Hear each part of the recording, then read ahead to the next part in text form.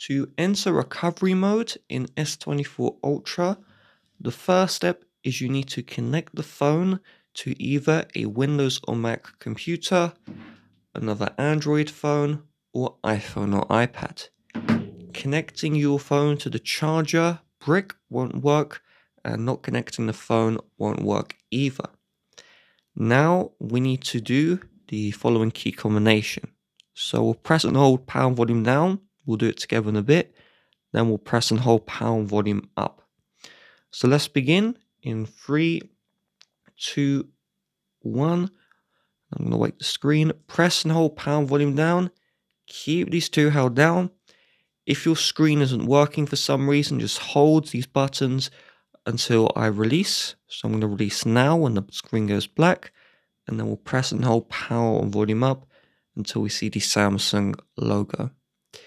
If your screen can't wait, just hold the buttons for as long as I do, release when I do, and then you'll be able, uh, able to proceed.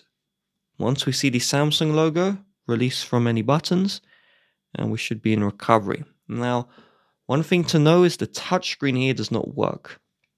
So to navigate this uh, recovery, you click volume down to go down, volume up to go up, and you click the power button here to select.